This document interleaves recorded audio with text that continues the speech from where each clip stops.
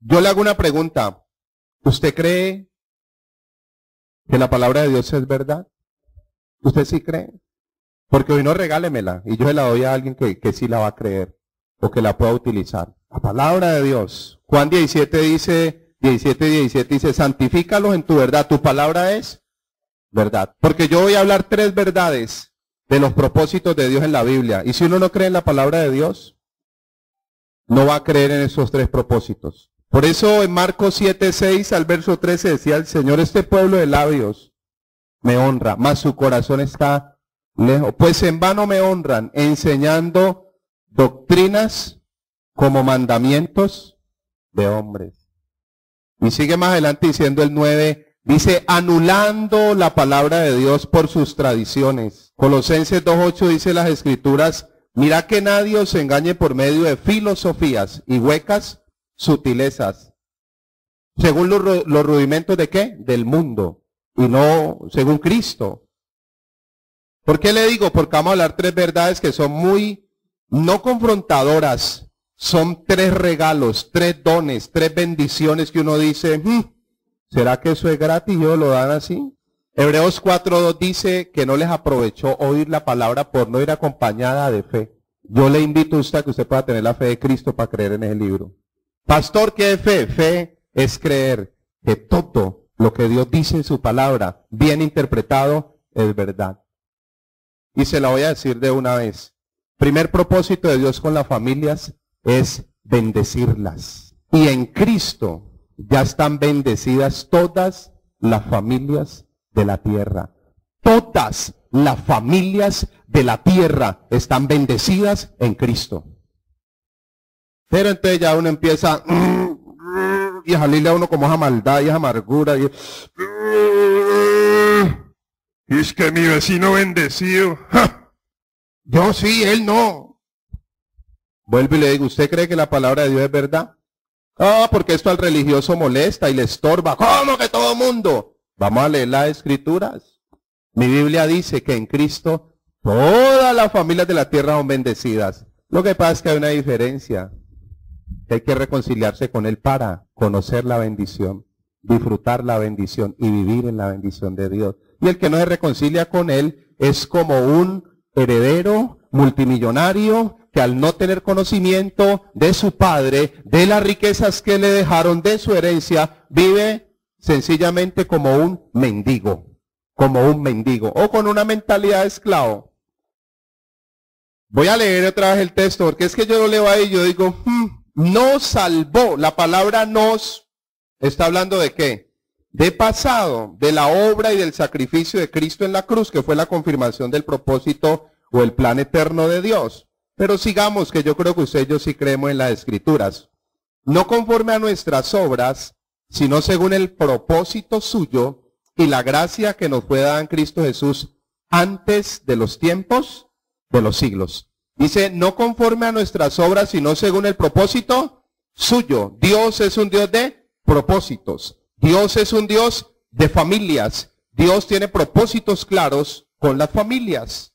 Dice el verso 10, pero que ahora ha sido manifestado por la aparición de nuestro Salvador Jesucristo.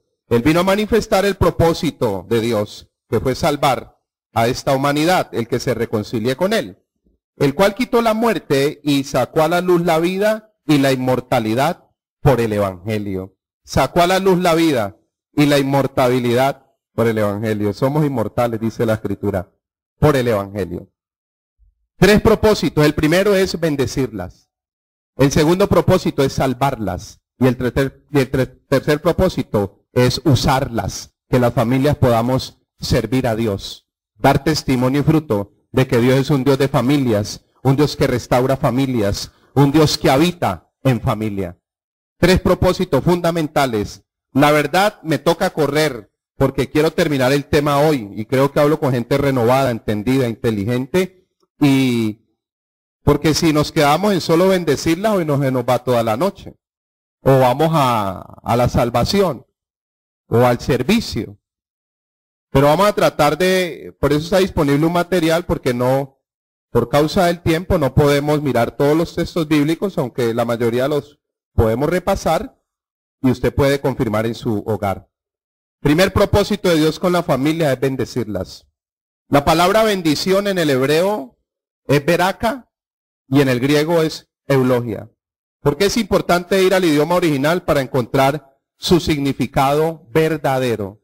¿Cuál es el significado verdadero de las palabras o de los textos de las escrituras?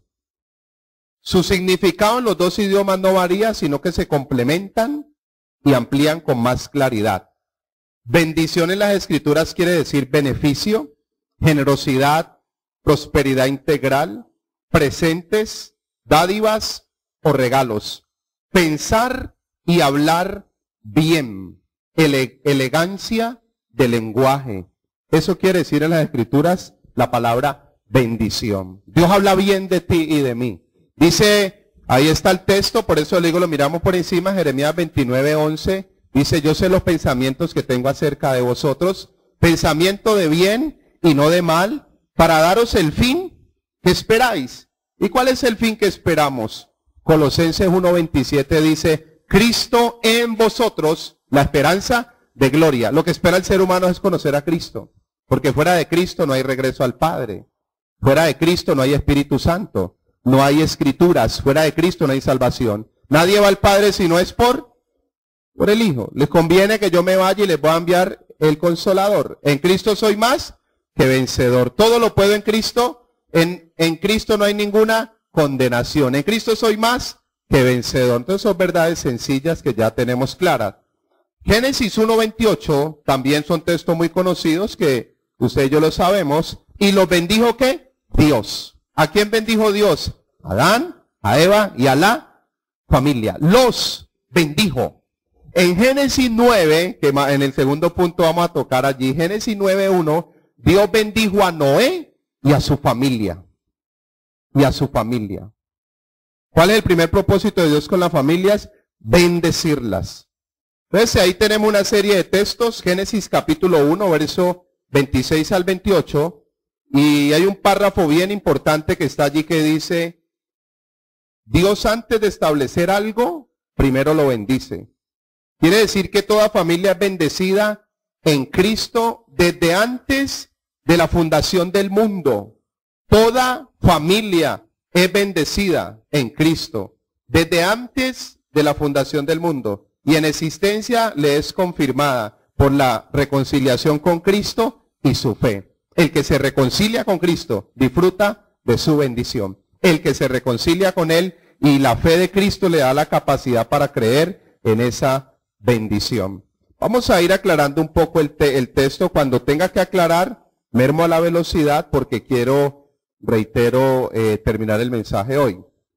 Vamos a leer Génesis capítulo 12, verso 1 al 3. Génesis capítulo 12, verso 1 al verso 3. Dice las escrituras, pero el Señor había dicho a Abraham, vete de tu tierra y de tu parentela a la casa y de la casa de tu padre a la tierra que yo te mostraré.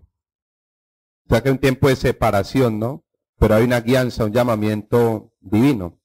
Verso 2. Y haré de ti una nación grande. Dios con Abraham, ¿qué nación hizo? La nación de Israel. Pero mire que Abraham venía de Ur de los Caldeos. O sea que Abraham era idólatra, pero Dios lo escogió. Y te bendeciré y engrandeceré tu nombre y será bendición. Bendeciré a los que te bendijeren y a los que te maldijeren maldeciré. Y serán benditas en ti todas las familias de qué? Dice las familias, con todo respeto lo que voy a decir, ¿no? Dice las familias católicas, las evangélicas, las mormonas. ¿Y qué mormonas? Pues familias que creen en los mormones. o en los testigos. Serán en ti, en tu simiente. Dios llama a Abraham de Ur de los Caldeos. La palabra Abraham quiere decir palo seco. Dios llama a este señor idólatra, le dije, es la tierra de su padre, de su madre, y vayan de yo le voy a mostrar. Y entonces Dios le dice en tu simiente. ¿Qué es la simiente? La palabra de Dios, la promesa en Abraham. Dios, por su palabra, le da una promesa a Abraham. En ti, en tu simiente. Esa semilla, simiente semilla, es la palabra, es Cristo en Abraham. O en Abraham para transformarlo en Abraham. Es Cristo. La semilla, la simiente. Entonces Dios le dice, y voy a hacer de, ti una gran nación. Génesis 3.15 es la primera promesa mesiánica, donde después de la caída de Adán y Eva, Dios le dice a la serpiente que iba a poner enemistad entre ella y la simiente de la mujer. La simiente de la mujer le iba a dar en la cabeza a la, culebra y la, la simiente de la culebra le iba a tocar el calcañar, el cuerpo. Quiere decir que la primer promesa mesiánica es que Dios iba a traer salvación al mundo por un hombre. Entonces Dios llama a Abraham y le dice, Abraham, en ti voy a hacer la nación que van a ser ese hombre que va a salvar al mundo.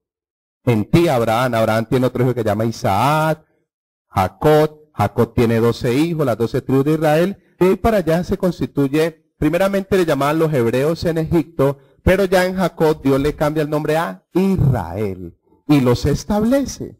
Establece la nación de Israel y en todo el Antiguo Testamento estas generaciones de la simiente que iba, o sea, la simiente venía corriendo por generaciones, nació el Salvador, el Señor Jesucristo, Dios manifestado en carne. Entonces en esa simiente, esa palabra, esa semilla que Dios metió en Abraham, no era otro sino el mismo Cristo. Después ya dice Gálatas 4:4, venido el cumplimiento del tiempo, nació Jesús y nació bajo la ley, porque venía a cumplirla, no a abrogarla. La cumplió. Después de que la cumplió, dio fin. El Señor Jesucristo en la cruz dio fin a la ley ceremonial, ritual, y continuó la ley moral. Que la gente a veces ni entiende eso. Que es la ley moral y la ceremonial. La ceremonial es que él dijo, yo soy todo lo que ustedes hacían, ya no es necesario. Yo soy el camino, la verdad y la vida. Yo soy el tabernáculo, yo soy la luz, yo soy el pan que descendió del cielo, yo soy la roca, yo soy Dios, yo soy antes que Abraham. Un día les dijo, yo en Juan 8 les dijo, yo soy antes que Abraham. Y yo, este está loco, si yo lo vine a hacer, si yo lo cargué, yo jugué con el carrito y que antes que Abraham, está loco. Antes que él dijo, yo soy antes que todas las cosas.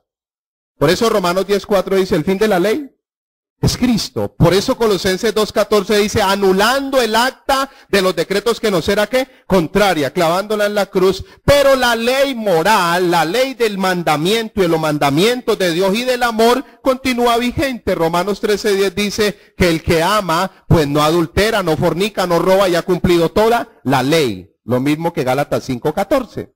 Es el amor, la ley del amor, la moral, el amar a Dios, el amarnos a nosotros mismos y amar al prójimo. En Cristo se cumple la ley ceremonial, oh, pero la ley del amor y el mandamiento está vigente.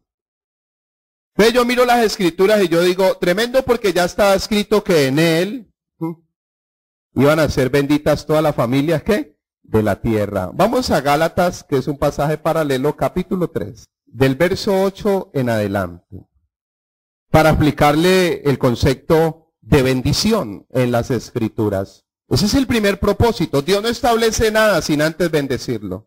Y usted puede mirar el material que es un tema que está muy claro por las escrituras. Dice desde el verso 6, Gálatas capítulo 3, verso 6. Le estoy explicando lo de la bendición porque cuesta creerlo. Uno dice, eh, eso tan, eso gratis, eso verdad que así. Dice Gálatas 3, 6. Y, y, y saben, mire, yo le digo de corazón, porque yo le abro mi corazón hoy. Yo tenía mucha maldad, ahora tengo menos y cada día Dios me la está justiciando. Pero un tema de esto yo no lo hubiera creído años atrás. Mm, y que Dios bendice a todas las familias. Como, como el concepto de Dios es que Dios es como nosotros. Muy humano, muy... Eh, ¿Verdad Dios? ¿Sabe cuál es el enemigo número uno de la iglesia? Y el enemigo número uno de la sociedad. La ignorancia. La ignorancia es la que ha llevado al ser humano a vivir locamente, dice Deuteronomio 32.6. Pueblo loco e ignorante. Deuteronomio 32.6 dice, este pueblo loco, así me pagan, dice el Señor, pueblo loco e ignorante. Isaías 5:13 dice, mi pueblo se llevado así, vea, cautivo porque le faltó conocimiento. Lo llevaron de narices por la ignorancia. La ignorancia enloquece, la ignorancia esclaviza. Oseas 4:6, mi pueblo fue qué? Destruido porque le faltó. Ah, la ignorancia destruye. Ese es el enemigo número uno. Ese, ese es el que destruye la iglesia. No hay otro. Pastor, el diablo, no. Mateo 16, 18. Las puertas del Hades no prevalecerán contra qué? La iglesia del Señor. No prevalecerán. Es la ignorancia. Por eso dice Hechos 17:30. Dios pasa por alto la ignorancia.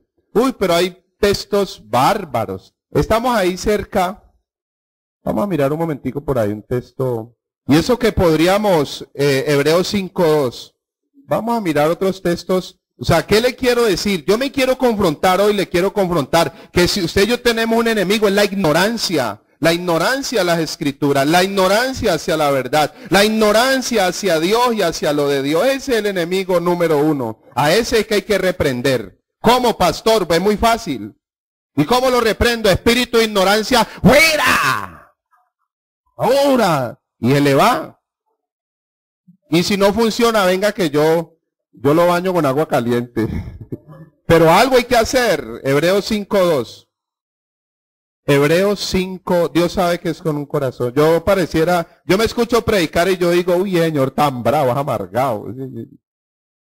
Uy, ese soy yo y después me arrepiento en polvo y ceniza.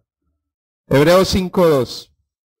Para que se muestre paciente, ¿con quién? Ahí, puesto que él también está rodeado de qué? Oh, eso es el sacerdocio de Cristo. Mm, ¿Paciente para quiénes? Venga, le muestro otra bomba. Venga, le muestro otra bomba. Hechos capítulo 3. Venga, le muestro otra bomba. Esa es la que combatir, hermano. ¿Con qué combate eso? Con Cristo y su sabiduría.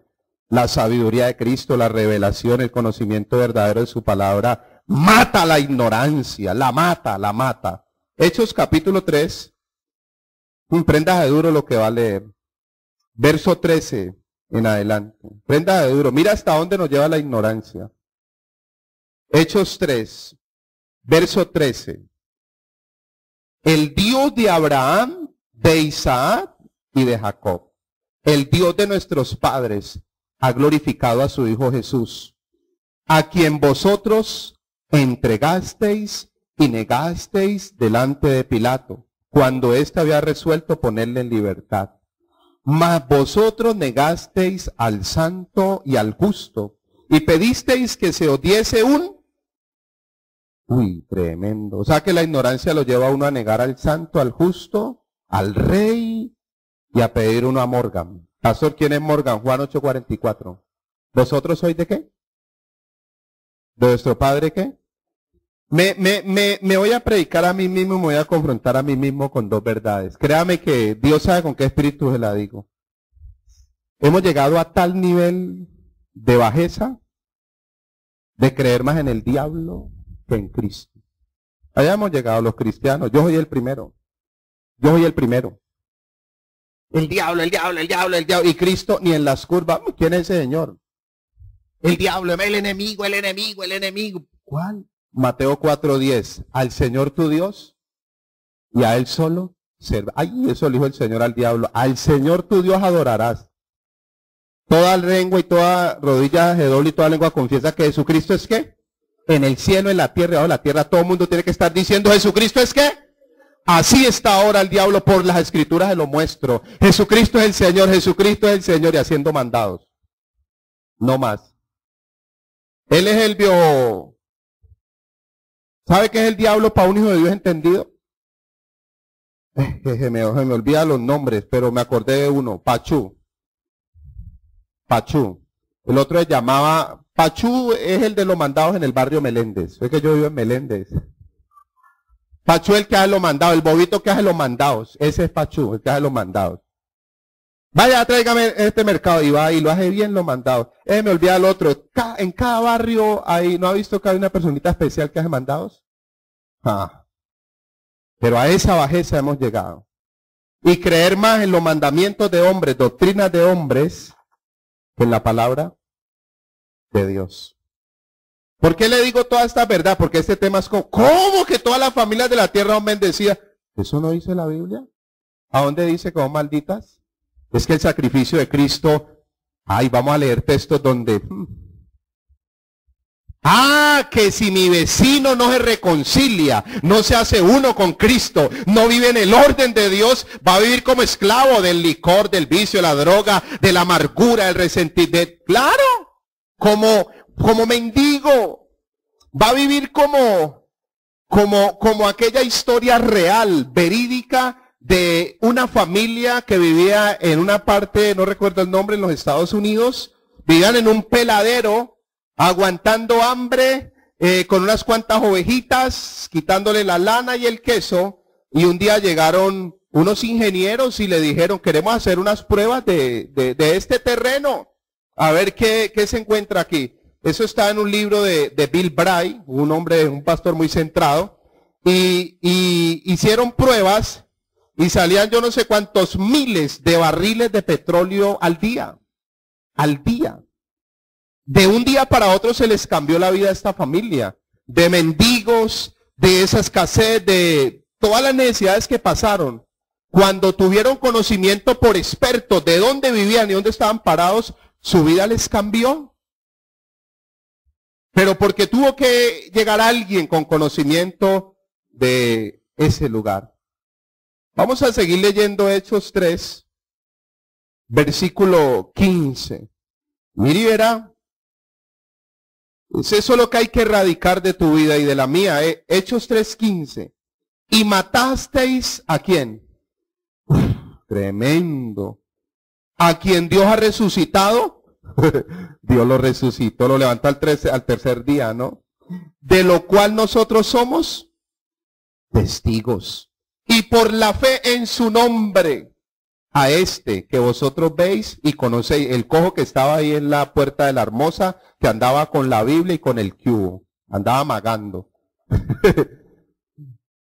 Créame que esa cojera era el estado espiritual de él y de Israel. La cojera en la Biblia no es que el cojo si, si Cristo vino para sanar una cojera, perdió el año. hubiéramos mandado de chino a Japón para que le metan una pata, un perdón, un pie de caucho. Cristo no vino a sanar un cojo, Él vino a salvar una humanidad que estaba perdida, a reconciliar, a rescatar, a buscar lo que se había perdido. La cojera una añadidura. La cojera es una añadidura de predicar el Evangelio del Reino. Aquí si un hermano vino cojo y se está predicando el Evangelio del Reino, tiene que salir caminando. Hoy no fue incrédulo él, hoy no el incrédulo fui yo. Alguno de los dos falló, o usted o yo. Sigamos. Dice el verso 15, 16. Eh, Por la fe en su nombre, no, al cojo. A este que vosotros veis y conocéis le ha confirmado su nombre y la fe que es por él ha dado a esta completa qué? A la integral. ¿Completa qué? ¿Qué le decía el Señor al ciego, al cojo, al paralítico? ¿Tus pecados te son? ¿Tus pecados te son? vete y no peques. Y después, por causa de la reconciliación, venía la sanidad.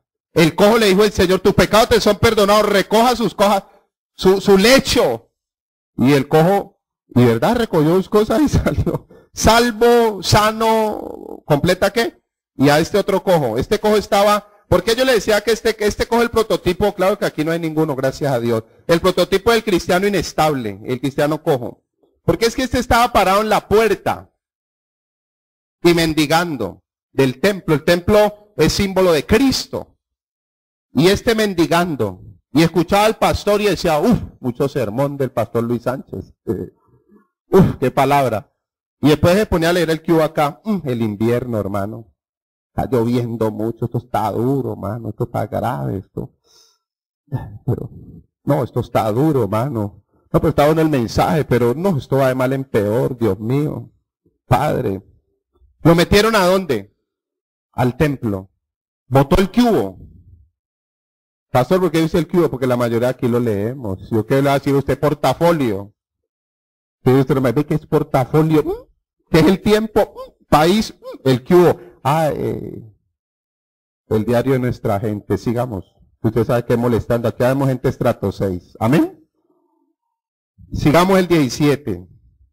Mas ahora, hermanos, sé que, ¿qué qué? ¿Por qué? Uf. ¿Lo habéis qué? ¿A qué lo lleva uno la ignorancia? A matar al mismo Dios. Matémoslo. La ignorancia. Pero sigamos, Gálatas capítulo 3. ¿Sabe algo? Eh, parte de estos textos está al final de la página número 10. Me adelanté un poco, pero ya salí de esa parte para avanzar. Gálatas capítulo 3 desde el verso 6. Lo voy a leer y yo sé que la mera lectura nos va a ir ministrando. Dice, así Abraham creyó a Dios y le fue contado por justicia. Sabed, por tanto, que los que son de fe, estos son hijos de Abraham. Y la escritura, previendo que Dios había de justificar por la fe, ¿a quiénes? Por la fe. Gentil es todo aquel que no nació en Israel, que no es de sangre judío, diciendo, en ti serán benditas todas, ¿qué? Todas las naciones. En Génesis 12, 1 al 3 decía familias. Es que las familias son naciones. Las vidas representan naciones. La mujer samaritana que representó, la nación de qué? De Samaria, el endemoniado gadareno, naciones. Y hace discípulos a todas qué? Y uno va a hacer los discipulados a las familias. Verso 9. De modo que los de la fe son bendecidos con el creyente Abraham. Ojo a este texto que lo voy a aclarar porque este texto, si uno no lo tiene claro, se, se programa a que es maldito. 10. Porque todos los que dependen de las obras de la ley están bajo. ¿Ves? Ojo, ¿no? Depender de las obras de la ley es estar bajo. O sea, si yo tengo el programa de la ley que tengo que cumplir todas las leyes, voy a estar bajo maldición. No. Póngale cuidado a lo que le voy a explicar. No porque Dios me haya dejado en maldición, sino más bien Dios ya me redimió de la maldición, pero como yo traigo un programa, una doctrina, un estilo de vida de la ley, que en la ley fue establecido en Éxodo 24 y 5, y visitaré, ojo, visitaré la maldad de vuestros padres hasta la tercera y cuarta, de la maldad. Dios visita en la maldad. Porque es que uno cree que Dios visita vidas. No, si una vida no tiene maldad, la visitación de Dios para justiciarle la maldad no va a venir. No va a venir. Dios a justicia es la maldad. Si usted y yo somos portadores de maldad, pues Dios tiene que hacer una visita a esa maldad y a justiciarla, estirparla, sacarla. Y entonces ahí es donde puede doler. Pues con este concepto de Éxodo 20, 4 y 5, Hemos hecho un programa mental a nivel mundial y por generaciones le hemos dicho a la gente que está maldita hasta la tercera y la cuarta generación. Está bajo maldición. Cuando ahí no dice el texto que estamos bajo maldición. El texto dice visitaré. Leí los textos, no los puedo leer todos. Visitaré la maldad que de vuestros padres hasta la tercera y cuarta generación. Entonces Dios vino visitando la maldad. En Génesis 6 visitó maldad. No, en Génesis 11 visitó maldad y de ahí para Génesis 6 el diluvio, Génesis 11 la torre de Babel y de ahí para allá Dios venía visitando, le visitó la maldad a David y no le corrigió, no le disciplinó, porque Hebreos 12.5 dice que Dios el que ama qué? Disciplina, Dios disciplina y corrige. Pero desde el Antiguo Testamento, para explicarle este texto del versículo 10, que lo voy a dejar allí, vamos un momentico a Jeremías capítulo 31. Jeremías, desde el Antiguo Testamento Dios estaba anunciando un nuevo pacto. ¿Sabe algo? Usted me cae bien. yo así tenga que terminar en este punto y aclararlo, yo no tengo afán de correr. Y entonces la otra semana, el domingo, vamos a hablar de la salvación, que es otro tema poderoso. Poderoso. Esa es la salvación. Le voy a decir tres cosas de la salvación porque hoy no llego allá. Voy a aclarar este. Para no dejar vacíos y lagunas Sí, no, será que sí, y no más bien dar las cosas claras. Dios le dijo a Noé, hazte un arca, y vas a entrar tú, ¿y tú qué? Dios es un Dios que salva qué? Familia. Dios le dijo a Lot, lo visitó en el ángel, le dijo a Lot, vea hermano, Génesis 19. Al otro fue en Génesis 6, del 9 en adelante, a Noé. Le dijo Dios a Lot, vea hermano, salga en bomba. Pero le dar un consejo, le dice Dios, no mire qué. Y le dice Dios a Lot por medio del ángel, dígale a su señora que no va a mirar para atrás. Que le quedó el Blackberry, que le quedó la cartera. Dígale que no miró para atrás. ¿Quién miró para atrás? Hermano, hay una enseñanza poderosa. El hermano, la familia, la persona que mire para atrás está salada. Ni un chance de gana. Salado. Pastor, hace rato no me ganó un chance por eso, porque está mirando para dónde. Y el que mira para atrás, por mirar para atrás, paraliza su presente y lo sala y mata un futuro, porque para dónde va y quedó ahí por mirar para atrás. Dios es un Dios de familia Dios, Dios establece las órdenes. Vamos a mirar cuadros donde los que entran a Cristo son padres y la familia enterita entra a Cristo. Madres entrando a Cristo y la familia entre, entre hijos entregados a Cristo y la familia entrando a Cristo. Vamos a ver que la entrada a Cristo Dios la determina en un padre, una madre o en unos hijos poderosos y entran al arca. ¿Quién entró al arca? No hay que, porque Dios es un Dios de familias. Dios es un Dios de familia. Y vamos a hablar del servicio a la familia, pero terminemos este tema hoy. Vamos a aclararlo hoy. Eh, Jeremías capítulo 31. Vamos a mirar desde el verso 29. Eh, leámoslo hasta el verso 32, eh, hasta el 33, podemos leerlo. Dice las escrituras, Jeremías 31, 29. En aquellos días no dirán más. Verso 31, vamos a leer el 31. Ahora nos volvemos al 29. En aquellos días no dirán más. Vamos a ver en cuáles días. Verso 31.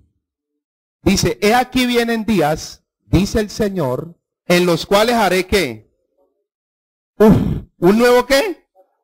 Con la casa de Israel y con la casa, el pueblo de Dios, que en ese entonces era Israel, y con ellos Dios estableció el pacto para después bendecirnos a los gentiles. ¿Un nuevo qué? Entonces, en aquellos días, en los días del nuevo pacto, no dirán más. Los padres comieron las uvas agrias y los dientes de los hijos tienen qué? Ah, ya no se dice que el pecado del padre va a pasar al hijo, del hijo al nieto, al bisnieto, hasta la tercera y la cuarta generación, y el ser humano en general, yo soy el primero que me programé, que que yo traigo la maldición de mis tatarabuelos. Mi tatarabuelo se murió de gripe y como fue mi tatar, yo traigo y me programé. Segunda de Corintios 10, 4, 5. Porque las armas de nuestra milicia de nuestro caminar no son carnales, esto no es de carne, esto no hay que meterle la carne al Evangelio, sino poderosas en Dios. Las escrituras dice poderosas en Dios para la destrucción de fortalezas.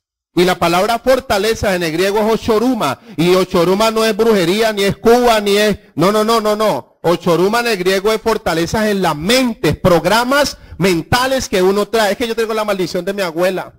Es que mi abuela murió fosilizada y yo también. Entonces la gente viene programando por genes, muchas veces sí se transmiten, pueden ser enfermedades una cosa y la otra. Pero hombre, ahora vamos a, a Gálatas, ya se lo voy diciendo 3.13. Cristo nos redimió de qué? De la maldición, de la ley, hecho por nosotros maldito. Pues escrito está, todo aquel que, todo aquel que, maldito todo aquel que es colgado en un Dios cogió la maldición de la humanidad. Ese sacrificio de Cristo, por eso la ignorancia más grande es hacia el sacrificio de Cristo. Cristo clavado en la cruz y Dios cargó sobre él todo el pecado, toda la maldad, toda la maldición, toda enfermedad, toda condenación sobre él. Dios estaba piedro, con el hombre no, con la maldad. El primer acto de Cristo en la cruz se llama propiciación que la propiciación que tú y yo teníamos que estar en la cruz así, esperando el castigo. Y el Señor dijo, ah, ah, ah, seré propicio a ellos. Y entonces en el primer acto, Dios, la ira de Dios sobre la maldad, vino sobre qué? ¡Ah! Ese cuerpo. Isaías 61 dice del Evangelio y de las buenas nuevas, dice, dice, y el día de venganza de nuestro Dios. Y eso fue en la cruz sobre la maldad. Dios ajustició la maldad en Cristo. Pero el mismo texto ya, Lucas 4, 18 al 22. Léalo en la casa ahora después de, de Sábado Felices. Y usted lee Lucas 4, 18 al 22. El día de venganza no aparece en ningún lado. Pero en Isaías aparece acá. Ya no van a decir más que los hijos vamos a cargar con los pecados de los padres. Siga leyendo, porque es que aquí es donde desde el antiguo pacto estaba profetizado que Dios iba a cortar con esa maldición. Dios la iba a cortar, siga leyendo y verá. Entonces los padres comen uva sagra y los hijos van a nacer muecos. No, no, no, no, no. Que el papá se le caigan los dientes, pero los hijos van a tener los dientes lindos como los míos. Verso 31, hermano, es por fe. Verso 31. Y aquí vienen días, dice el Señor, en los cuales haré nuevo pacto con la casa de Israel, con la casa de Judá. No como el pacto que hice con sus padres en el día que os tomé de su mano para sacarlos de la tierra de qué? Ah, el antiguo pacto, allá con Moisés en Sinaí. Porque ellos invalidaron mi pacto, ni lo cumplieron. ¿Sabe qué dice Juan 7? El Señor, hombre, si no creen ni a Moisés, van a creer a mí. Todo lo que escribió Moisés soy yo, hombre. Ah, lo invalidaron, no lo cumplieron. Sigamos. Verso 33. Pero este es el pacto que haré con la casa de Israel después de aquellos días, dice el Señor. Daré mi ley en su mente y la escribiré en su corazón y yo seré a ellos por Dios y ellos me serán por qué? Por pueblo. Vamos a leer Romanos 2.29. Romanos 2.29. Eso era para Israel. Eso era para los judíos. Romanos 2.29. 28 eh, y 29. Pues no es judío el que lo es exteriormente ni es la circuncisión lo que se hace exteriormente en la carne, sino que es judío el que lo es en qué? O lo espiritual, no lo carne, no. Y la circuncisión es la del el corazón, el espíritu, no en letra. La alabanza del cual no viene de los hombres, sino de quién? De Dios. Vamos a Gálatas, capítulo 6, para explicarle ahí una verdad, que Israel simboliza pueblo de Dios. Y todo aquel que ahora ha abrazado a Cristo, es el pueblo de Dios. Gálatas 5, 16. Ah, podríamos leerlo desde, desde el 15. Porque en Cristo Jesús ni la circuncisión vale nada, ni la incircuncisión, que es la pelea. Circuncídese. 6.15. 6.15. Gálatas 6.15. Porque en Cristo Jesús ni la circuncisión vale nada, ni la incircuncisión. Sin una nueva ¿Una nueva qué? ¿Qué es lo que vale en Cristo? Pastor, ¿por qué explica esto? Es que para poder aclarar lo de las maldiciones. Es que en el antiguo pacto Dios determinó, en el antiguo pacto en Deuteronomio 28, del 1 al 30, más o por allá más o menos, Dios dice, establecido en el antiguo pacto, porque cada pacto tenía sus normas, cada pacto tenía sus principios. Entonces en el antiguo pacto Dios dijo, estas bendiciones te alcanzarán si guardareis el pacto y la voz fueres obediente, serás bendito tú, tu casa, tu esposa, tus hijos, tu nevera, tu billetera, tu... Yo hasta ni sé qué es eso. Que a la cena, bueno, dice a la cena, que armesa, artemesa de amasar, piedra de moler, bueno, un poco de cosas que yo digo, hay que ir a estudiar la cultura. Que tú, y 20, mm, Deuteronomio 28, 16, que es el que le gusta a mucha gente. A mí no. Deuteronomio 28, leámoslo y verá que Deuteronomio 28, 16. Hay gente que se deleita predicando Deuteronomio 28, 16. Yo que no le digo la otra porque, porque le sale mal a usted y a mí. Hay otros que se deleitan. Malaquías capítulo 3. Maldeciré vuestras bendiciones y las he maldecido. ¿Y sabe qué dice Dios desde el cielo? Balaam, burro, no maldigas lo que yo qué. Cuidado, maldecir lo que Dios ha. Dios le dijo a Balaam, por plata, Balaam iba a maldecir, eso está número 22. Por billete, Balaam iba a maldecir al pueblo de Dios. Esa es la doctrina de Balaam, lo dice Judas y Apocalipsis a las siete iglesias. La doctrina de Balaán y la Nicolaita, la de Balaán es la del lucro y la de Nicolaita es pues la iglesia y lo político y hacerlo uno, o no la va. Dios le dijo a Balaán, no maldiga lo que yo he qué.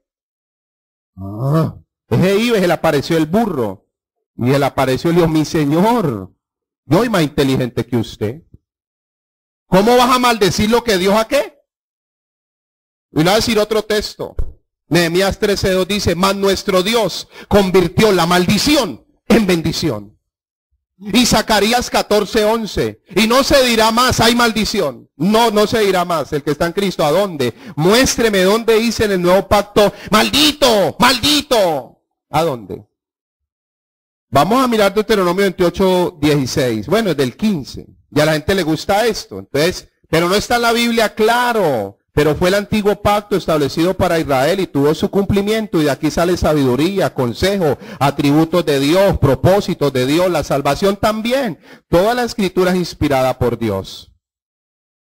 Deuteronomio 28, 15. Pero acontecerá si no oyere la voz del Señor tu Dios para cumplir todos sus mandamientos, sus estatutos, yo te Intimo hoy que vendrán sobre ti todas estas maldiciones y te alcanzarán. Maldito serás tú en la ciudad, maldito en el campo, maldita tu canasta, tu arteza de amasar, Hoy sería hmm, tu máquina de moler, no sé. Maldito el fruto de tu vientre, tus hijos, el fruto de tu tierra, tus palos de mangos, la cría de tus vacas, tus perros, hoy sería, y tus gatos malditos, los rebaños de tus ovejas, los loros malditos, malditos tú entrar a la casa, maldito el salir, y el Señor enviará, enviará maldición, quebranto, maldición tras maldición, y la gente deleitada. ¿Sabe qué dice Gálatas 3:13? Cristo nos redimió nos rescató de la maldición, de la ley, hecho por nosotros. Maldito, Él se llevó toda maldición. En Cristo Jesús, toda la familia, vecinos son benditos, pero como no saben, me quedé en Galatas 3.10. Viven como si fueran, ¿qué? Malditos. Ahí, ahí les lleva a explicarles estos otros textos. Eh, Ezequiel 18. Para no leerlo todo, creo que podemos leer Ezequiel 18, 4, 18, 20. Entonces son textos para aclarar. Primer propósito de Dios con la familia es bendecirlas. Tu familia está bendita. Mi familia está bendita. Eso vino Cristo. Efesios 1.3 dice que en Cristo Jesús fuimos bendecidos con toda bendición. Desde antes, ¿de qué? De la fundación del mundo. Nuestra familia está en bendición. Mire, se lo voy adelantando porque se me olvida. Y entonces lo que estoy viviendo, ¿qué es? Consecuencias. Consecuencias. Gálatas 6.7 dice, no os engañéis, dice Gálatas 6.7. Dios no puede ser burlado. Todo lo que el hombre sembrare, eso también que segará. Consecuencias. El que piensa mal, actúa mal, siente mal, vive mal y cosecha. Entonces, pero no decir, no, ya de la maldición, que básicamente quiere decir separados de Dios, sin misericordia, o diría uno sin esperanza. Y hay textos para aclarar, vuelvo y le digo, Ezequiel 18, pero yo ahí tengo un arsenal de textos bíblicos para confirmarle la bendición. Y estoy siendo muy claro. Mire, la parte final del manual dice, muchas familias no lo disfrutan por falta de conocimiento y el deseo de no buscar las cosas de Dios como su prioridad. Hay gente que terminó no buscar lo de Dios, entonces no van a disfrutar. Ezequiel 18, versículo pues yo le dije el 4, pero, eh, perdón, desde el, desde el, leámoslo desde el 1, del 1 al 4. Vino a mí palabra del Señor diciendo, ¿qué pensáis vosotros, los que usáis este refrán sobre la tierra que dice, los padres comieron las uvas agrias y los dientes de los hijos tienen que, o están destemplados, o sea, ah, ¿cómo así? Tres, vivo yo, dice el Señor, que nunca más tendréis por usar este refrán en Israel. He aquí todas las almas son mías. Como el alma del Padre, así el alma del Hijo es mía. El alma que pecare, ¿qué? ¿Ah? ¿Esa qué? O sea, cada uno va a pagar.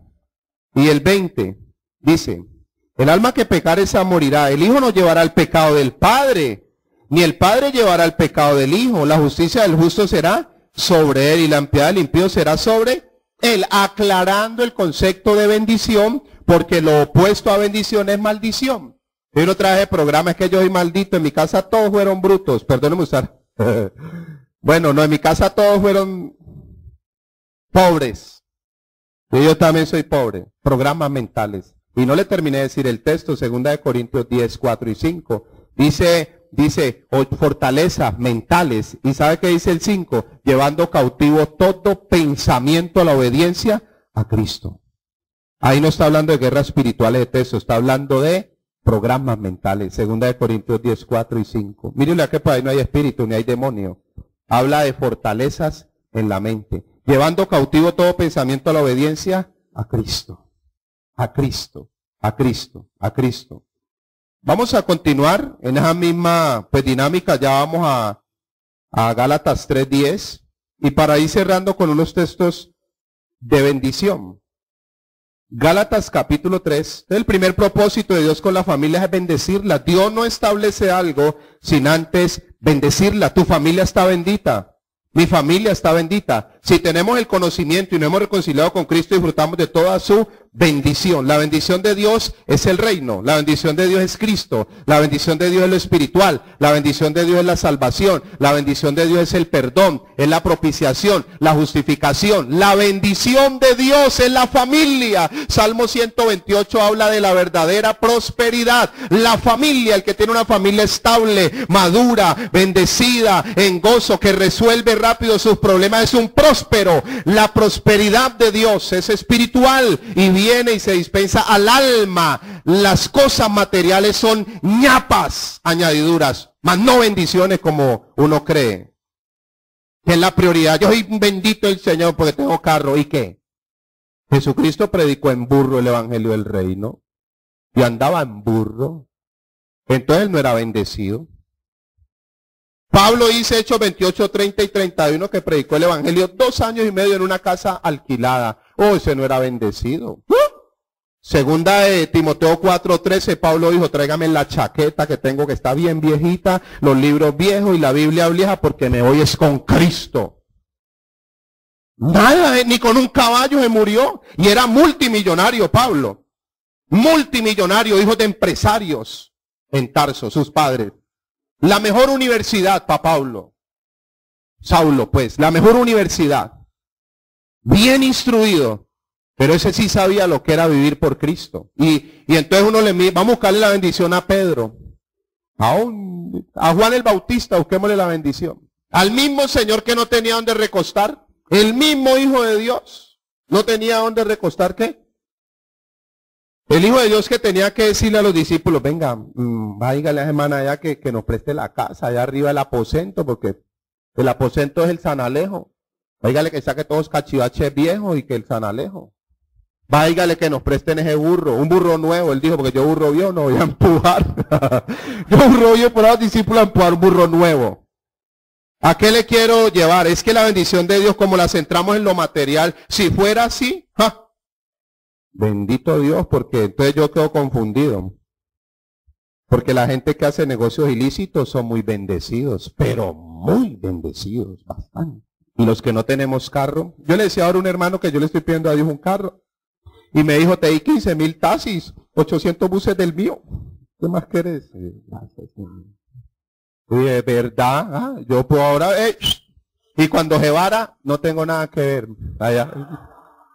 Yo cojo otro. ¿Sabe qué me dijo una persona hoy? Me dijo, es mejor hoy en día ni tener ni casa. Eso ahora que el mega ahora, que el mega esto, que el mega esto, que el impuesto está. Y uno suma y en el año gasta más pagándolo de la casa propia que pagando un arriendo. Le cuento que en Meléndez están a 2.50 las casas. Pastor, entonces, ¿qué hago? Yo no sé. Escuche ya para que terminemos y nos vamos. Salmos 127.3 y 128.1 para hablar de la bendición de Dios en familia. Toda la ya fui muy claro, el que no se haya reconciliado con el Señor no disfruta reino, no disfruta paz, que sobrepasa todo entendimiento, el gozo de la salvación, la libertad en Cristo de disfrutar toda la herencia, todas estas glorias, todas estas bendiciones. Pero tu familia y la mía es bendita, y el vecino y no que hay que irle a contar. Hay que traerlos a Cristo. el camino al Padre. Dice el Salmo 127, Leámoslo desde el verso 1 al verso 3. Si el Señor no edificare la casa, en vano trabajan los que la edifican. Si el Señor no guardare la ciudad, en vano vela la guardia. Dios está edificando tu casa, la mía, y Dios está guardando nuestros hijos. Dos, por demás es que os levantéis de madrugada y vayáis tarde a reposar. A veces toca. Y que comáis pan de dolores, pues, hablando del fruto del trabajo, Acuérdese que en Génesis 3 Dios estableció que tenía que el hombre esforzarse en su trabajo, pues que a su amado dará Dios el sueño. He aquí, herencia del Señor son los hijos. Mire, qué bendición. Cosa de estima el fruto del vientre. Salmo 128, 1. Dice, bienaventurado todo aquel que teme al Señor, que anda en sus caminos. Cuando comiera el trabajo en sus manos, su trabajo, Bienaventurado será, bendecido, muy feliz será y te irá bien. Un hombre temeroso de Dios, un hombre caminando en el orden de Dios, mire lo poderoso que es. Tres, tu mujer será como vid que lleva fruto a los lados de tu casa. Qué cuadro, qué escena de restauración tan poderosa, una familia restaurada. Tus hijos como plantas de olivo alrededor de tu mesa, qué bendición. He aquí que así será bendecido el hombre que teme al Señor, ese temor reverente. Bendígate el Señor desde Sion y veas eh, el bien de Jerusalén todos los días de tu vida y veas a los hijos de los hijos, eh, los hijos de tus hijos, pase a sobre. Esto es para los que gozan de nietos. Los hermanos y las hermanas ya que, están avanzados de edad. que gozan de nietos. ¡Uy, qué bendición, hermano! ¡Qué bendición! ¡Qué bendición! Yo leía, esos días me llegó, eh, estos días me llegó un correo de, usted lo ha escuchado, usted lo ha escuchado, de un padre que compró un carro nuevo, bien bonito. ¿Quién lo ha escuchado? Y entonces salió al supermercado y dejó sus hijos ahí un momentico. Cuando volvió la niña había sacado los marcadores del maletín. Y cuenta el correo, pues la historia que lo la maltrató tanto que le tuvieron que amputar la mano. Cuando ya ella se recupere y el papá al hospital dice, papi, ¿cuándo me vas a volver mis manos? ¿Cuándo me vas a volver mis manos? Bendición del Señor son qué? Los hijos. Va a decir la verdad. Sal, eh, Mateo 6:33. Busca primeramente el reino de Dios y su justicia. Y lo lo demás vendrá por qué? Dios nunca le va a quitar el nombre a tu casa, a tu carro, a tu ropa y a tu plata. Añadidura. Nunca. Pero como le dijeron no que es la bendición, o no dice añadidura. Voy a ser un poco más sarcástico. Filipenses 3, 4 al 10. El 7 y el 8 dice, por el cual lo he perdido todo y lo tengo por para ganar a quién? por basura. Y no va a leer una versión moderna porque las versiones modernas dicen por estiércol. ¿Para ganar a quién? ¿Cuál era la bendición para Pablo? Y fue multimillonario. Gálatas 4, perdón, Filipenses 4, del 1 al 16 dice, yo sé que es vivir en abundancia, yo sé que es vivir en escasez. ¿Todo lo puedo en Cristo? Desprográmese que la bendición de Dios es Cristo, es la salvación, lo espiritual. Lo demás viene por... En la época de nosotros era ñapa. Pastor, usted muy veterano, más o menos. Uno iba a comprar un pan de, de ese tiempo de 100, de 200 y le dan a uno la ñapa. ¿No acuerdan que la ñapa? Bueno, la ñapa que Dios te ha dado es tus cosas materiales y disfrútela. Las traigo acá. No, gracias, no las necesitamos. ¿Verdad? Disfrútelas que Dios las dio. Sea un buen administrador de las bendiciones de Dios. Salmos 45, 1 al 4. Me quedo con muchos textos por cuestión de tiempo, pero usted tiene el material o yo lo voy a a decir y usted los anota. Salmos 45, verso 1 al 4. Primer propósito de Dios con la familia es bendecirlas. Es bendecirlas. Dice Salmos 45, 1 al 4, rebosa mi corazón palabra. Buena, es un salmo mesiánico hablando de Cristo, del Rey, del Evangelio. Dirijo al Rey mi canto, mi lengua es pluma de escribiente muy ligero. Ah, poderoso. Él venía a escribir el Evangelio en nuestras mentes y en nuestros corazones. Dos, ¿eres el más hermoso de los hijos? Uy, ¿eres el más hermoso de qué? Ay, ¿eres el más hermoso de los hijos de qué? Oh, profetizado sobre el Señor qué? Jesucristo. Ay, ¿sabe qué dice Romanos 8, 14 al 17? Que si somos hijos, somos herederos. ¿Y qué? Coherederos. ¿Qué es ser coheredero? Que la misma herencia que le dieron a mí me la dieron a mí. Ah, pero yo soy un pastor bien pinta. ¿Eres el más hermoso de los hijos de qué? Pastor, y a mí no él me ve. Es que usted no tiene fe. Usted no tiene fe. Porque la fe dice que hay que llamar lo que no es como si qué. Si fuese. Si usted es bien feo, diga, yo soy lindo. Y consuele porque la belleza es interna. Claro que por atrás como que por afuera ayuda también un poquito. Dice el 2, la gracia se derramó qué? Uf, poderoso. ¿La gracia se derramó en qué? Por tanto, Dios te ha bendecido para qué?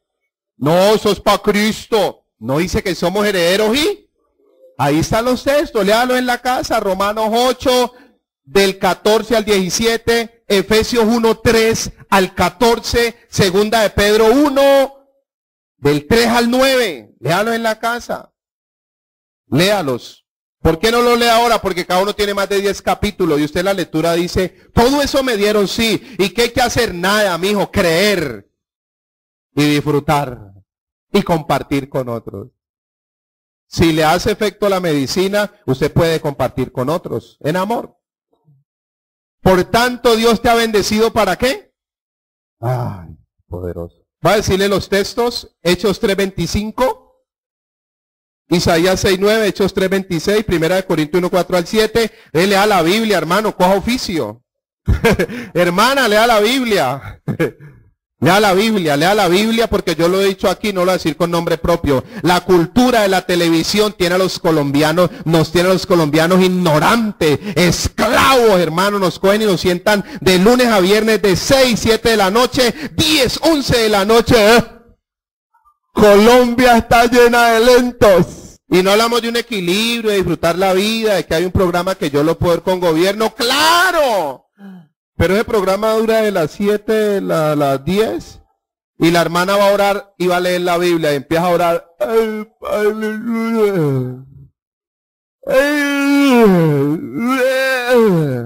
Y va a leer la Biblia.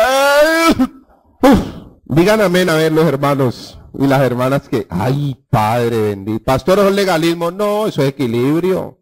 Eso es gobierno, esto es orden.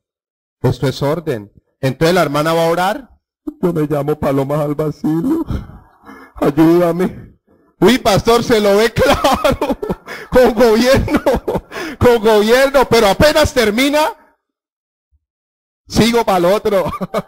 Sigo. ¿Cuál es la que sigue ahí? Amor de carnaval, hermano. ¿Cuál es? ¿Cuál es? Ah, no, que yo tengo que pistearlo. Y el hermano se sienta y dice, no, yo es para acompañar a mi esposa. Mentira, bochinchero, hasta mí te gusta. Con gobierno. ¿Y después qué hago? Sabiduría superior. Sabiduría superior. Los textos que le dije son real. Isaías 61.9. Hechos 3.26. Primera de Corintios 4, eh, capítulo 1, verso 4 al 7. Efesios capítulo 1, verso 3 al 14. Vamos a leer ese y terminamos. Efesios 1, 3 al 14. Solo la lectura.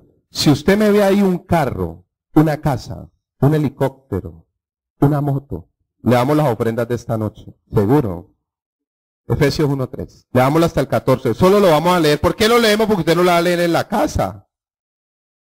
Usted no lo va a leer en la casa, entonces hay que aprovechar hoy. Dice Efesios 1.3, Bendito sea el Dios y Padre de nuestro Señor Jesucristo, que nos bendijo con toda bendición material. Ay, perdón, perdón. ¿Bendición qué? Ay, en los lugares celestiales en Cristo, según nos escogió en Él, en Cristo, antes de la fundación, que es la bendición de Dios, Cristo las posiciones que tenemos en Cristo, que son casi 90. Una de ellas es la salvación. Nos escogió en Él antes de la fundación y uno llorando por una guapanela y por un recibo. Y Dios nos escogió en Cristo antes de la fundación porque tú y yo ya veníamos, Efesios 2.10, somos hechura suya, creados en Cristo Jesús para buenas obras, las cuales Dios preparó de antemano para que anduviésemos. Eso se llama obra preparada. Hoy es el cumplimiento de la obra preparada de Dios en tu vida y en la mía. Dice el 4, la parte B, para que fuésemos santos y sin mancha delante de Él. En amor, habiéndonos predestinado para ser adoptados hijos suyos por medio de Jesucristo. El amor de Dios, sin condiciones. La predestinación, que no es otra cosa que Dios marcó un destino glorioso para ti, para mí. Hagamos un alto allí. La predestinación es un tema caliente, pero a algunos les da miedo, pero muy sencillo, es muy práctico predestinación. Dios determinó para ti, para mí un camino. Y en la predestinación de todos los hombres y las mujeres de Dios, lo vemos en las escrituras, que viene, o sea, la vida está determinada por un nacimiento, una muerte y por tres tiempos, el pasado, presente y qué, y futuro, y el proceso de Dios con cada hombre y cada mujer que él llama. Entonces en el proceso, o más bien en, yo voy a utilizar esta palabra, pero en un buen sentido, la película de nuestra vida, la película de tu vida y la mía, que es la que está rodando y está corriendo, muchos podemos estar en el inicio, otros estamos acá un poquito en el meollo, otros ya saliendo, otros ya. Pero Dios en Cristo dice que Él ya vio la obra terminada. Dios conoce el final antes del principio. Tú y yo somos, en Cristo dice Efesios 2.10 que se lo dije, dice, somos hechura suya. Hechura es poema en el griego, poema, somos su poema. Somos, tú y yo somos la corona de la creación. Y Dios ya terminó con nosotros. Dios no te ve a ti ni en pasado ni en presente. Dios te ve a ti a mí como obra terminada. Segunda de Corintios 5.16. De aquí en adelante a nadie conocemos según la carne. Y si a Cristo lo conocemos según la carne, ya no. Si alguno está en Cristo nueva, las cosas viejas qué? ¿Todas son hechas? Bueno.